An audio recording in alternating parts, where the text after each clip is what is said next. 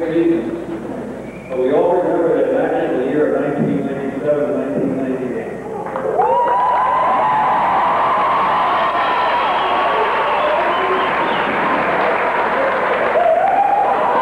Undefeated, Minnesota State champions, and the national Junior College Division Three national champions. What a great year.